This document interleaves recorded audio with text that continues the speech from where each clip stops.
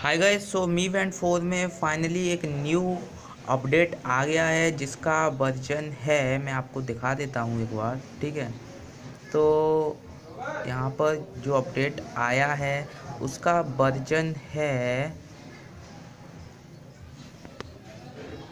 one point zero point six point twenty four ठीक है? तो ये अपडेट आ चुका है और ये अपडेट मैंने अपने मी वैंड फोर में कर लिया है।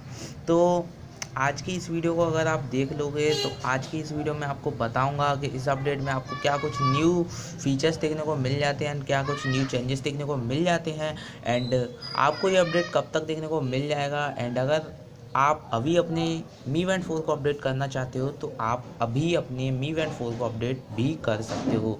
तो कैसे करना है, बने रहिए इस वीडियो में, सारा कुछ इस वीडियो में डिटेल में बता दूँगा। तो चलिए बिना टाइम वेट किए वीडियो को स्टार्ट करते हैं।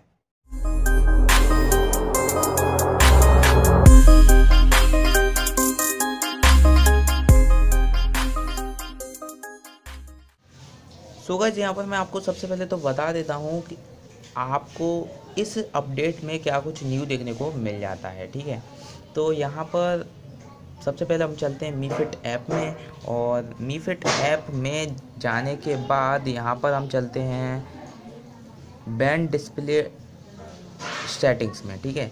तो यहाँ पर गाइज़ अगर आप देखोगे तो यहाँ पर आपको फोर न्यू वॉच फेसेस देखने को मिल जाएँगे। एक है ये वाला ग्रीन वाला, एक है स्पेस वाला, एक है होली लाइट एंड एक ये है, ठीक है? तो ये फोर वॉच फेसेस यहाँ पर आपको देखने को मिल जाते हैं।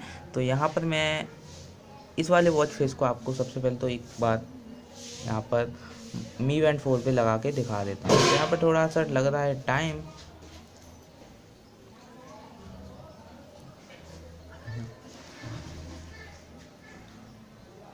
तो गैस ये वॉच फेस यहाँ पर लग चुका है एंड यहाँ पर आपको पहले टू ऑप्शन देखने को मिलते थे बट अब यहाँ पर एक न्यू ऑप्शन यहाँ पर बढ़ा दिया गया है। यहाँ पर आप देख सकते हो, ठीक है? तो एक न्यू ऑप्शन यहाँ पर ऐड कर दिया गया है। अब बात करें यहाँ, अगर नेक्स्ट फीचर की तो यहाँ पर जो नेक्स्ट फीचर देखने को मिलता है, इसमें ज़्यादा कुछ तो देखने को नहीं मिलता है।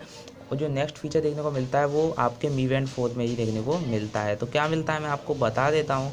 तो गाइज़ जो फीचर आपको देखने को मिलता है तो वो यहाँ पर आपको सेटिंग्स के ऑप्शन में देखने को मिल जाता है। यहाँ पर मिल जाता है ऑटो स्क्रीन ऑफ़ का फीचर ठीक है?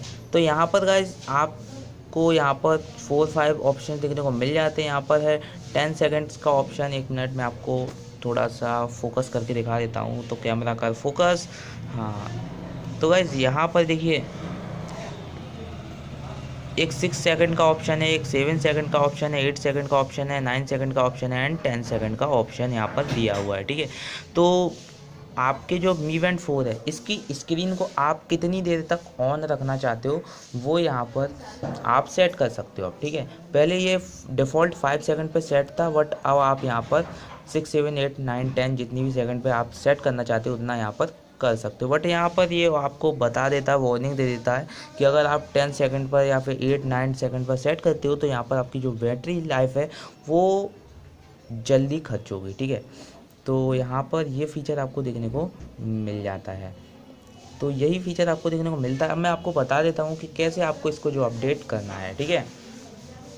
तो अपडेट करने के लिए आपको क्या करना होगा गाइस आपको सबसे पहले तो आपकी जो मी फिट ऐप है, उसको अपडेट करना होगा, जो कि मी फिट ऐप का जो लेटेस्ट वाला वर्जन है, वो आपको प्ले स्टोर पर नहीं मिलेगा, ठीक है?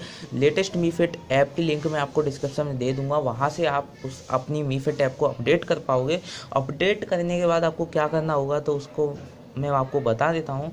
तो मी फिट ऐप को अपडेट करने के बाद आपको जाना होगा मी फिट ऐप में, और मी फिट ऐप में जाने के बाद आपको जाना होगा प्रोफ़ाइल में एंड प्रोफ़ाइल में जाने के बाद आपको जाना होगा मी स्मार्ट बैंड फोर में एंड उसके बाद यहाँ पर आप नीचे की साइड में जाओगे तो यहाँ पर आपको एक ऑप्शन देखने को मिलेगा चेक फोर अपडेट्स का। तो गए जैसे ही आप चेक फोर अपडेट्स में जाओगे तो यहाँ पर आपको लेटेस्ट वाला अपडेट 1.0.6.24 वाला अपडेट देखने को मिल जाएगा। उसके बाद आप जो है अपने मी वैंड फोर को अपडेट कर सकते हो ईजिली ठीक है?